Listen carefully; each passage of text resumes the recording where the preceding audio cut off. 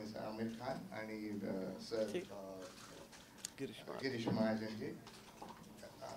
मला obesity adult obesity ही खूप common गोष्ट झाली आजकाल. पण आपण जर लहानपणापासून म्हणजे आपण जे ओबेसिटी मुळापासून जर काढायची असेल तर मग आपल्याला लहान वयातल्या मुलांपासून आपल्याला ओबेसिटी काढायला पाहिजे. लहान मुलांची ओबेसिटी थोडीशी वेगळी असते. कारण ती जीन्स आणि त्यांच्या लाईफस्टाईल सगळ्यावर अवलंबून असते. त्याच्यामध्ये आपण त्यांना कसं गायडन्स करायचं? बऱ्याचदा लहान मुलांना जर आपण जर कुठल्या डॉक्टरकडे घेऊन गेलो किंवा न्यूट्रिशनिस्टकडे घेऊन गेलो त्यांनाही पूर्णतः माहिती नसते. मी या फील्डमध्ये जवळजवळ अठरा वर्ष आहे. फक्त ओबेसिटीवर काम करत असल्यामुळे मला हा एक अनुभव जास्त मिळाला की ज्याच्यातून आम्ही याच्या ओबेसिटीवर आम्ही काम करू शकतो तर आम्ही जास्तीत जास्त कसं लोकांपर्यंत पोहोचू? भारतामध्ये महाराष्ट्र किंवा आपल्यामध्ये सगळ्यामध्ये आपण बघतो कुपोषित पण लोक आहेत आणि खूप जाड पण लोक आहेत. तर दोन्हीना आपल्याला ऍड्रेस करायचं आहे. तर हे कसं सगळ्यात बेस्ट कसं करता येईल तर त्यांनी आम्हाला येऊन भेटणं. पण प्रत्येकाला मुंबईला येऊन भेटता येत नाही. मग त्यांना आपण संकेतस्थळाद्वारे द्वारे आपण ते भेटू शकतात. आम्ही ही जी वेबसाईट केली ती इंटरॅक्टिव्ह आहे. समोरच्या व्यक्तीला मी बघू शकेन. जेव्हा ती व्यक्ती डॉक्टरला पण बघते आणि डॉक्टर जेव्हा पेशंटला बघतो तेव्हा तो जो कॉन्फिडन्स असतो दोघांमधला तो वाढतो. आणि मग त्यांना आम्ही चांगली चांगलं ॲडवाईस करू शकतो की त्यांना कसं पुढे करता येईल. याच्यानंतर आम्हाला या वेबसाईट संकेतस्थळ केल्यानंतर त्यानंतर आम्हाला याच्यावर सतत दर तीन महिन्याने काही काही प्रोग्राम्स घ्यायचे आहेत. जे अवेअरनेस प्रोग्राम्स असतील त्यांना हे जे इन्व्हेस्टिगेशन्स लागतात आपल्याला, ते कमीत कमी खर्चामध्ये कसे होतील, ते इन्व्हेस्टिगेशन्स आम्ही एका माध्यमाद्वारे करणार आहोत. त्यांना या, यांना इन्शुरन्स कसं आपल्याला देता येईल? नमस्कार नमस्कार.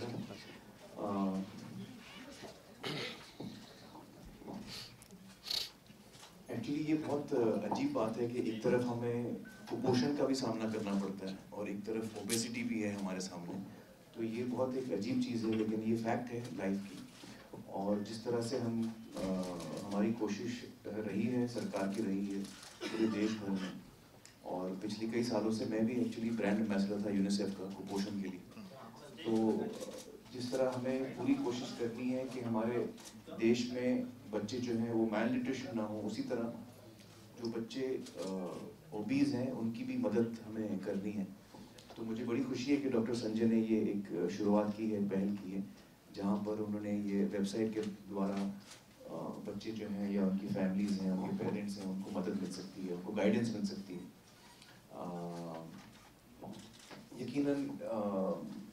अ, जो ओबेसिटी के ट्रीट करने का तरीका है और संजय जी भी मेरे साथ आई थिंक मानेंगे कि ऑपरेशन जो है वो लास्ट रिजॉर्ट होता है। और कोशिश हमेशा ये होती है कि बच्चों को जो है हम गाइडेंस सही दें डाइट के ज़रिए आदतों के ज़रिए उनकी अगर जीन्स में अ, वो दिक्कत है तो ऐसे तरीके अपनाएँ जिससे कि इंटरवेंशन जो है कम से कम हो। अ, और फिर जब चीज़ बहुत ज़्यादा एक्सट्रीम केस हो जाता है इमरजेंसी हो जाता है तब इंटरवेंशन की ज़रूरत पड़ती है जो ऑपरेशन के ज़रिए होता है।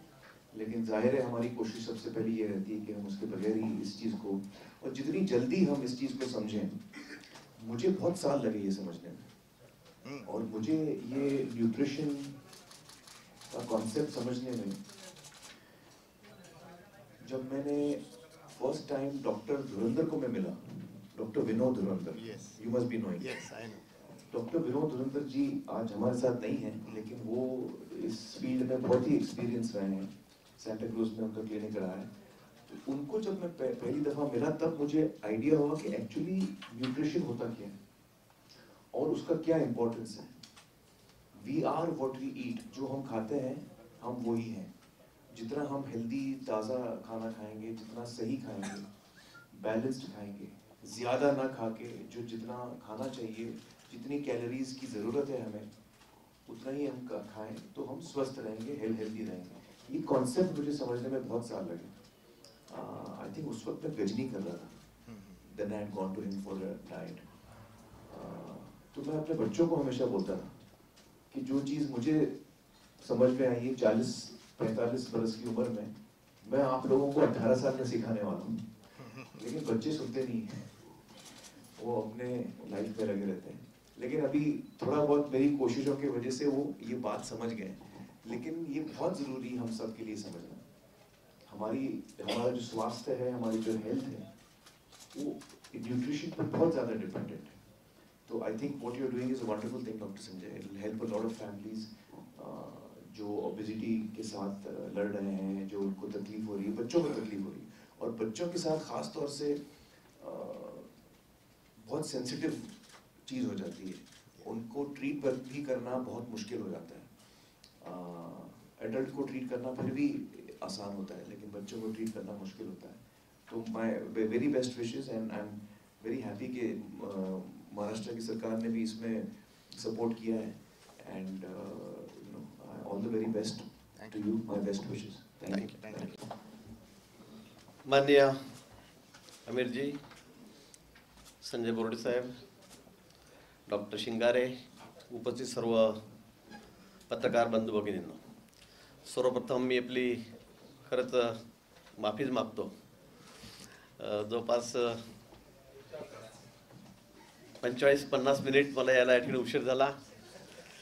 सकाळी मी नाशिक तिथून पुणे आणि पुण्याहून इथे आलो.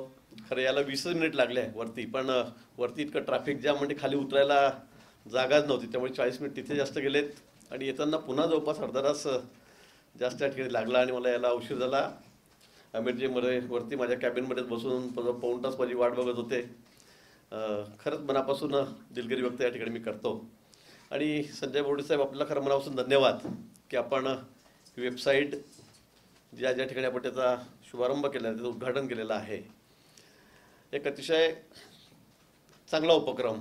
आपल्या कल्पना आहे दोन तीन वर्षापूर्वी माझ्याकडे खात्याला लगेच आपण चार सहा महिन्यामध्ये फाईट ओबेसिटी म्हणून आपण कार्यक्रम हाती घेतला आणि दरवर्षी आपण त्या संदर्भामध्ये त्याचा वाढदिवसही साजरा करतो. त्या माध्यमातून आपल्या मेडिकल कॅम्पच्या माध्यमातून ग्रामीण भागातसुद्धा खरं म्हणजे ओबेसिटीचं प्रमाण हे आहे हे आधी प्रौढांमध्ये जास्त होतं. पण तो आता जर आपण बघितलं तर लहान मुलामध्ये सुद्धा म्हणजे जागतिक आरोग्य संघटनेचा जो या ठिकाणी रिपोर्ट आहे माझ्याकडे आलेला गेल्या पाच वर्षामध्ये जवळपास बावीस टक्के मुलं असेल सरासरी ॲव्हरेज ट्वेंटी टू पर्सेंट की या ओबेसिटीचे शिकार आहेत. आणि म्हणून दिवसेंदिवस ही संख्या मोठी वाढते. देशामध्ये जागतिक पातळीवर प्रौढांप्रमाणे आता मुलांमध्ये सुद्धा ही संख्या ज्या प्रमाणात ज्या झपाट्याने वाढते. आणि त्यामुळे या संदर्भामध्ये काहीतरी केलं पाहिजे. या मुलांना मार्गदर्शन झालं पाहिजे त्यांच्या पालकांना मार्गदर्शन झालं पाहिजे. आणि म्हणून अ, बोर्डे साहेबांनी या ठिकाणी ही वेबसाईट आपल्यासमोर आणलेली आहे. निश्चित महाराष्ट्रातच नाही तर देशभरामध्ये जगभरामध्ये सर्वांनाच याचा एक चांगला उपयोग फायदा या वेबसाईटच्या माध्यमातून या ठिकाणी होणार आहे. पूर्वी शहरी भागामध्येच हे प्रमाण जास्त होतं. पण तो आता मी मेडिकल कॅम्प घेतो त्यात आम्हाला असं दिसून आलं की ग्रामीण भागातसुद्धा हे प्रमाण मोठ्या प्रमाणात त्या ठिकाणी आहे. आणि या मेडिकल कॅम्पच्या माध्यमातून शासनाच्या योजना आहेत सी एस आर आहेत या सर्वांच्या माध्यमातून आम्ही अनेक ऑपरेशन्स मग प्रौढ आहेत लहान मुलं आहेत यांची या ठिकाणी करतो आहे खरं म्हणजे ऑपरेशनला खर्चसुद्धा जवळपास चार पाच लाख रुपये सहा लाख रुपये या ठिकाणी येतो. आणि म्हणून सर्वसामान्य माणूस असेल गरीब माणूस असेल तर परवडणारा नाही. आणि मग त्यासाठी शासनही सर्वतोपरी मदत करत आहे. आपण या ठिकाणी जर बघितलं तर ग्रामीण भागामध्ये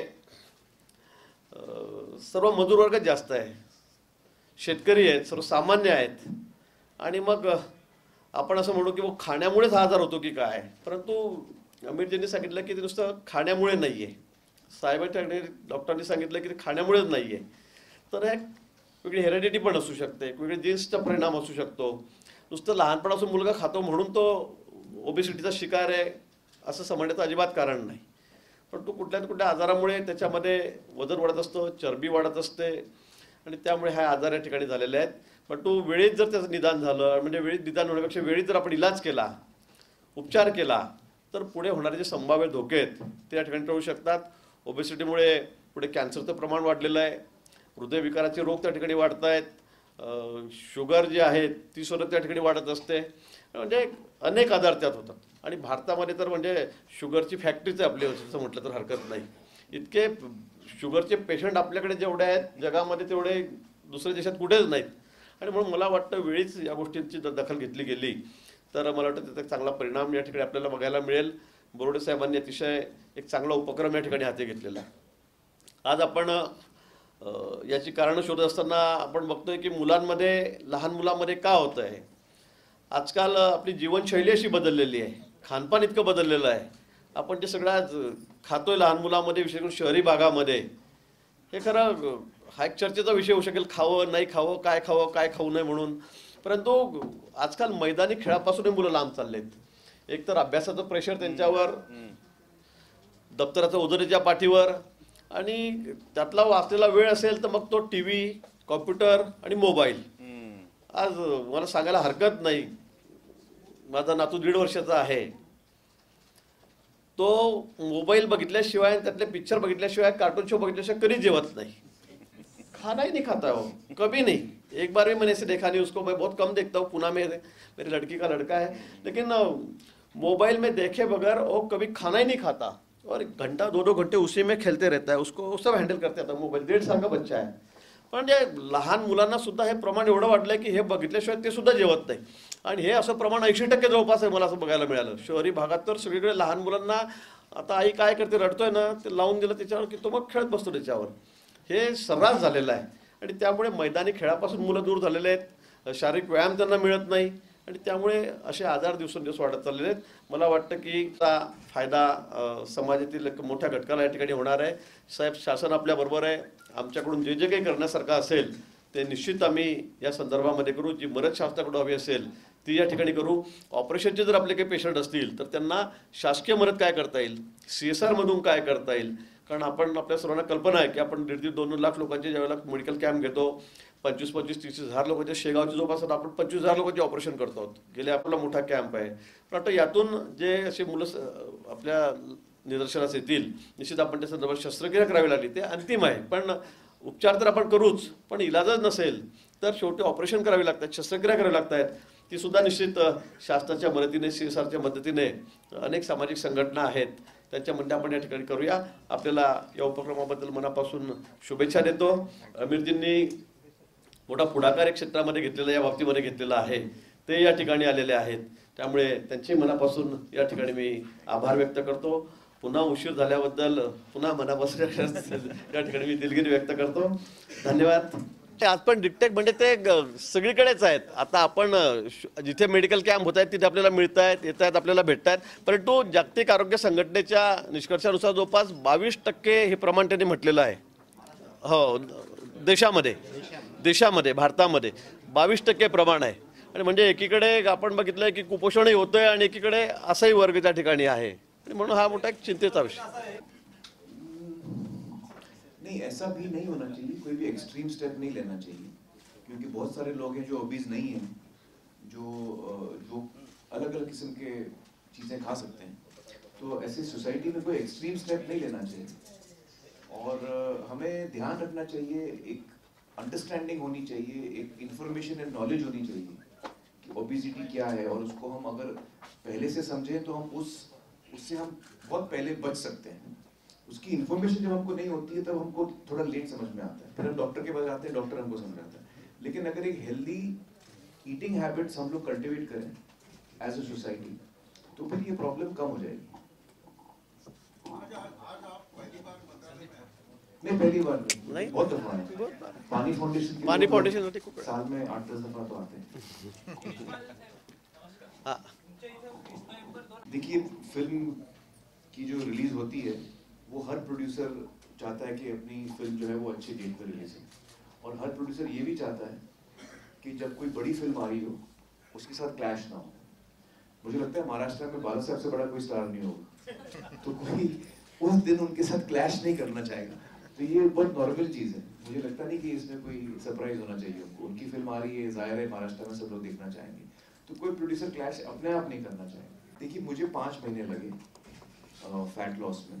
मैं वेट लॉस नहीं बोलूँगा मैं फैट लॉस बोलूँगा क्योंकि मेरा पर्पस था 38 परसेंट बॉडी फैट से मुझे 9 परसेंट पे आना था और बहुत मस्कुलर दिखना था। तो मसल का वज़न भी ज़्यादा होता है। करेक्ट एजी में तो I had to be very muscular तो अ, पाँच महीने लगे मुझे फैट लॉस में। और लेकिन ये बहुत अनयूजुअल है। पाँच महीने is very quick it's a very quick turn around लेकिन क्योंकि मैं मैं प्रोफेशनली मेरे रीजंस थे पूरा यूनिट वेट कर रहा था तो मैंने पाँच महीने में किया।